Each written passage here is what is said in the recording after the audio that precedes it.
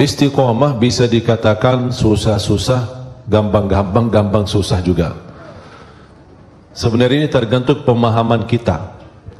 Orang banyak yang menartikan istiqomah adalah kita mampu menjaga kebaikan itu tanpa kita ada rasa hambatan atau terputus.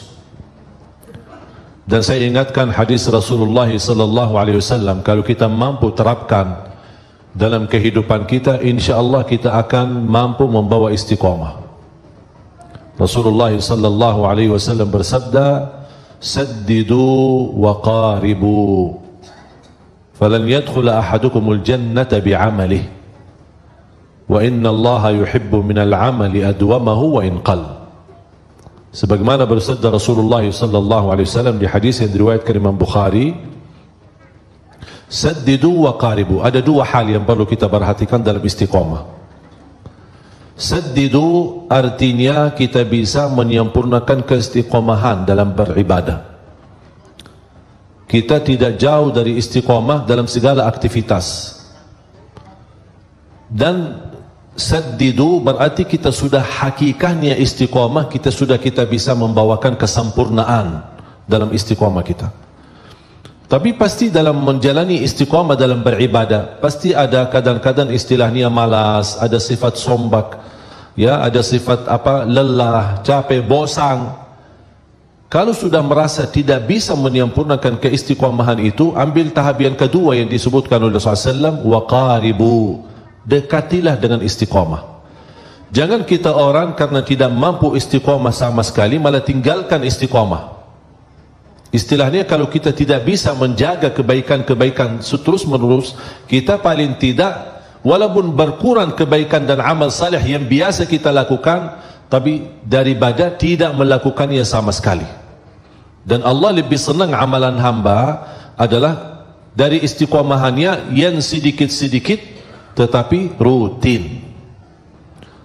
Kadang misal kita tahajud dan ini salah satu membantu untuk mendalikan nafsu kita ini mohon maaf nafsu manusia ini ini tergantung kebiasaan kalau kita misal melihat makanan enak, kalau dibiasakan makan sambil habis tambah lagi, kalau sudah terbiasa seperti ini, dia tidak akan pernah puas.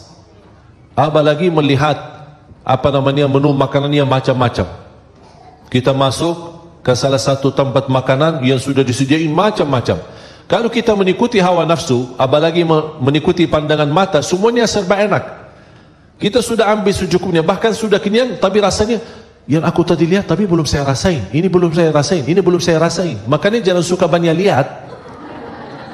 Syukuri yang sudah ada nikmati yang sudah ada. Makanya ketika ada banyak menu makanannya saya tidak suka lihat. Saya suruh orang yang pendamping saya ini ambil yang cukup saya makan habis pulang sudah selesai. Tapi kalau saya lihat masih kefikiran terbawa. Ini yang belum saya rasain. Gimana? Enak ya? Enak. Ah, padahal sudah kenyang. Karena manusia tidak pernah puas. Dan ini salah satu kita bisa menjaga kebaikan dalam beribadah. Islam menajarkan tidak boleh berlebihan kadang-kadang kita maksa. Kita ingin misal tahajud kalau tidak bisa tahajud seperti rutin kita misal 11 rakaat atau lebih atau panjang ada satu malam kita merasa oh, hari ini saya lagi galau ya. Capek. Ada urusan membuat saya beban fikiran. Aku kayaknya malas tahajud. Daripada tidak tahajud sama sekali paling tidak dua rakaat. Dua rakaat. Kalau tidak mampu dua rakaat mengangkat kesusahannya mengangkat masalah yang kita hadapi paling tidak meringankan masalah itu yang disebutkan waqaribu mendekati dengan istiqamah ada ikhtiar ada upaya kita tidak bisa misal puasa Daud tapi puasa Isnin Kamis tidak bisa puasa Isnin Kamis puasa tiga hari dalam satu bulan tidak bisa satu puasa satu hari satu bulan. Rasulullah SAW bersabda, "Man sama yawman fi sabilillah ba'adahu Allahu 'anil nari sab'ina kharifa." Karena inti daripada puasa adalah benar-benar puasa lillahi taala imanan wa ihtisaba. Percaya, beriman kepada Allah, menjalankan ibadah puasa dan mengharapkan ridha Allah Subhanahu wa taala dibalas kebaikan. Siapa yang tidak harap dibalas kebaikan oleh Allah Subhanahu wa taala? Makanya Allah subhanahu wa ta'ala menjanjikan banyak. Bahkan ada pahala-pahala dan karunia yang Allah rahasiakan, Allah sembunyikan, Allah sediakan bagi hamba-hamba dan itu balasan bagi apa yang telah kita kerjakan. A'udzu billahi minasyaitonir rajim. Bismillahirrahmanirrahim. فلا تعلم نفس ما أخفي لهم من قرة أعين جزاء بما كانوا يعملون Allah subhanahu wa ta'ala memberikan berita gembira bagi hamba yang selalu baik sangka sama Allah subhanahu wa ta'ala tidak ada jiwa pun yang boleh tahu apa yang telah dirahasiakan oleh Allah dari pahala tapi cuma yang membuat menarik di janji Allah ini bukan pahala yang dirahasiakan tapi pahala yang dirahasiakan ini bakal akan menenangkan hati kata Allah Subhanahu wa taala. Akan membuat kamu puas, membuat kamu bahagia kata Allah Subhanahu wa taala. Percaya enggak janji Allah? Kenapa ya Allah dirahasiakan sampai balasan ini akan menenangkan hati? Jazaa'an bima kanu ya'malun. Banyak atau sedikit itu akan menjadi balasan bagi apa yang telah kamu kerjakan. Itulah istiqamah. Kita bisa kendalikan diri. Kalau tidak mampu sempurna barin tidak berusaha mendekati kepada istiqamah. A'udzu billahi minasyaitonir rajim bismillahirrahmanirrahim. Alhamdulillahi rabbil alamin. Arrahmanir rahim maliki yaumiddin إياك نعبد وإياك نستعين. اهدنا الصراط المستقيم. صراط الذين أنعمت عليهم غير المغضوب عليهم ولا الضالين.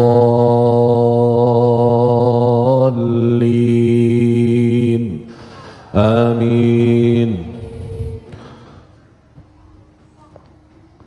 Jemaah sekalian, sebenarnya Al-Fatihah ini kalau kita bisa hayati, bisa belajari itu sudah luar biasa, memberikan kecukupan dalam segala hal. Ihdinas siratal mustaqim. 17 kali minimal dalam salat fardu kita memohon hidayah ke jalan yang lurus. Intinya istiqamah. Ya muqallibal qulub Thabbit qalbi ala dinik Yang membola balik hati Tetapkan hatiku atas agamamu Hidayah ini dan memohon istiqamah bukan hanya kebutuhan kita. Semua para nabi dan rasul memohon istiqamah. Memohon hidayah dari Allah Subhanahu wa taala. Yang menarik di suratul Fatihah dan ini menjadi pelajaran buat kita sebelum kita memohon istiqamah selain apa yang tadi saya sampaikan kan ada upaya ya kalau tidak bisa sempurna paling tidak dekat dengan kesempurnaan. Kalau tidak bisa dengan membawa hakikat istiqamah berusaha mendekati dengan istiqamah selalu saya dorong jamaah setiap kam amal kebaikan anda punya saham di situ. Setiap amal kebaikan anda punya saham di situ. Contoh silaturrahim anda punya saham. Sedekah punya saham. Salat malam ada sahamnya. Baca Quran ada sahamnya menjaga dan memperhatikan anak yatim ada sahamnya. Walaupun satu satu satu satu gitu. Karena ini salah satu upaya dan ikhtiar. Kita tidak tahu di mana Allah Subhanahu wa taala rahasiakan ridwannya di dalam amal salih. Ada tiga hal yang Allah sembunyikan. Allah sembunyikan keridaannya di dalam amal salih. Kita tidak tahu di mana amal salih yang ada di dalamnya ridha Allah. Barang siapa yang melakukannya dapat ridha Allah dengan mendapatkan ridha Allah beres dunia akhirat sudah selesai. Cuma masalahnya kita tidak tahu di mana amal saleh yang ada di situ ridha Allah Subhanahu taala. Yang kedua Allah rahasiakan kemurkaannya dalam dosa dan maksiat. Kadang-kadang orang satu kali berbuat dosa tapi bisa menjadi celaka dunia akhirat nauzubillah. Karena dia kena kemurkaan Allah di saat itu. Yang ketiga Allah rahasiakan waliullah, tidak ada yang tahu siapa waliullah di antara manusia. Kadang-kadang bisa waliullah di tengah kita. Kenapa Allah rahasiakan waliullah di tengah kita? Supaya kita tidak sembarangan menghina manusia. Bisa jadi anda salah menghina waliullah. Makanya kita belajar menghormati semua manusia. dia tukang sapu, tukang sampah, tukang apa, kita tidak tahu. Barangkali dia waliullah. Karena bisa mendapat darajat waliullah itu bisa dengan satu kebaikan yang dia lakukan, Allah angkat kemuliaannya. Allah angkat darajatnya menjadi mulia di mata Allah subhanahu wa ta'ala. Makanya jangan jangan kita sembarangan menghina orang. Kembali lagi, kebaikan dan keridaan Allah dalam amal salih.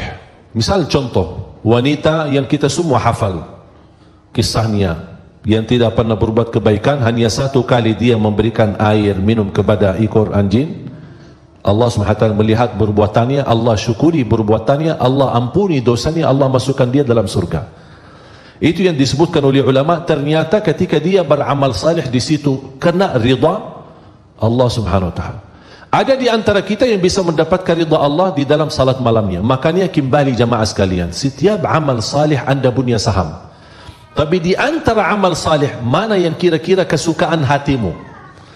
Ada yang lebih cenderung kepada puasa. Udahlah berbanyak puasa.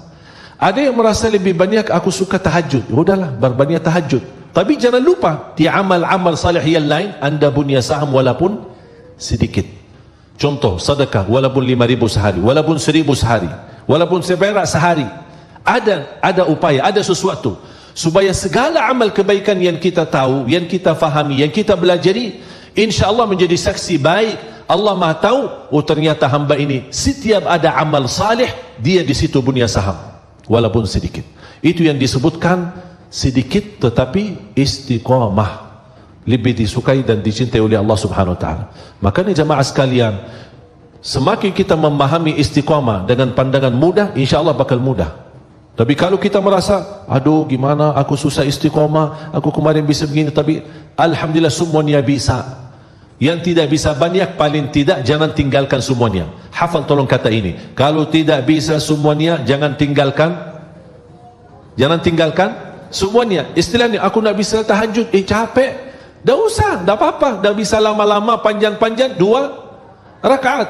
Aku kalau tidur, takut ketiduran nanti bangun apalagi tak jamin saya bisa bangun tengah malam ya udah tidur salat malam sebelum sebelum tidur boleh enggak salat malam sebelum tidur boleh karena waktu salat malam habis isya sampai subuh ini hukumnya berlaku kepada masing-masing sesuai kemampuan.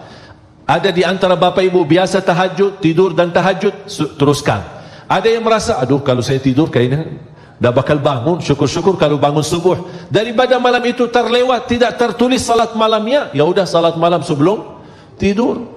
Bahkan itu dianjurkan Rasulullah SAW ketika masalah witir. Sahabat Rasul Abu Hurairah berkata awsani khalili bithalah aku telah diwasiatkan Rasulullah SAW tiga hal atau tiga amalan. Yang pertama jaga puasa tiga hari setiap bulan yang disebutkan hijriyah 13, 14 dan 15 wa an usalli duha menjaga salat duha. Wa an utira qabla an anam menjaga witir sebelum tidur. Ini Abu Hurairah sahabat Rasul mendapatkan amalan dan nasihat dari Rasulullah SAW dan ini kembali kenapa ada hadis witir sebelum tidur ada hadis witir adalah penutup salat malam ini memberikan pandangan kemampuan masing-masing ada yang bisa menutup witirnya malam harinya dan dia bisa tahajud santai-santai biasa. Alhamdulillah teruskan ikuti hadis ini. Kalau anda merasa tidak mampu berarti anda punya pilihan lain mengikuti hadis witir sebelum sebelum tidur. Tapi kalau sudah bangun tidur lagi, bisa tahajud lagi, bisa salat lagi, tapi tidak boleh witir lagi karena sudah witir witir duluan. Jamaah sekalian dimuliakan Allah Subhanahu taala, termasuk di bulan suci Ramadan, salah satu yang perlu diperhatikan perhatiannya lebih banyak kepada Al-Quran. Kalau biasa katanya bulan haji adalah ibadah haji. Berarti kita lebih banyak memperhatikan ibadah haji. Kalau tidak bisa berhaji, ada penggantinya. Berbanyak puasa di 10 hari pertama Dhul Hijjah, berbanyak zikir, berbanyak amal salih. Ada banyak. Setiap musim ibadah, ada sesuatu keistimewaan dan kelebihan yang perlu kita perhatikan. Misal contoh, hari Jumat yang terbaik amalan di hari Jumat adalah berbanyak salawat kepada Nabi Muhammad sallallahu alaihi wasallam. Berarti boleh enggak saya subhanallah walhamdulillah wa la ilaha illallah wallahu akbar? Boleh boleh saja. Tapi tolong lebih diperhatikan berbanyak salawat kepada Rasul di hari Jumat dan malam Jumat. Kenapa? Karena itu berbesan atau permintaan dari Nabi Muhammad sallallahu alaihi wasallam.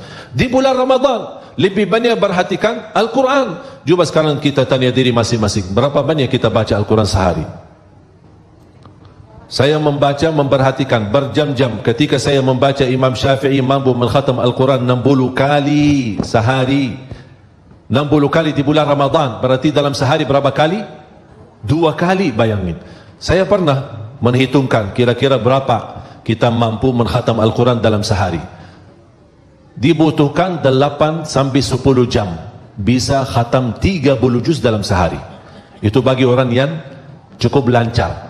Kalau yang berbata-bata wallahu alam, mungkin bisa habis umurnya belum tentu habis baca Al-Quran. Ya, tapi ini kembali jangan karena berbata-bata tidak baca Al-Quran, justru baca. Karena ada janji Rasulullah SAW memberikan pahala sebagaimana Rasulullah SAW bersabda, "Walladhi yaqra'ul Qur'ana wa yatata'ta'u fihi." Sambil bahasanya dalam hadis, yatata'ta'u berat membaca. Dia takut salah karena dia tidak pernah dipimpin bacaannya, tidak pernah diarahkan bacaannya. Dia hanya sesuai kemampuan. Dia ingin menunjukkan kepada Allah yang terbaik. Tapi dia tidak mau menjadikan alasan. Walaupun saya belum ada guru yang bisa memimpin saya. Tapi ada minat untuk membaca Al-Quran. Niatnya begitu ada kesempatan belajar, saya bakal belajar. Bukan niatnya mau terus salah. Ketika ada kesempatan belajar, oh dah, dah aku sudah begini aja, dah mau belajar. Oh ini yang bermasalah. Tapi tetap dia ada upaya ingin belajar dan terus memperbaiki bacaan, Allah akan berikan dua pahala. Satu karena dia mau baca Al-Quran, yang kedua karena kesusahan dan kesalahan yang dia hadapi dalam membaca Al-Quran.